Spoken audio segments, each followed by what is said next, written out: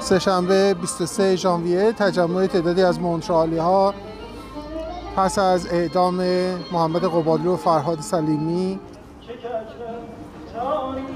در اعتراض به اعدام.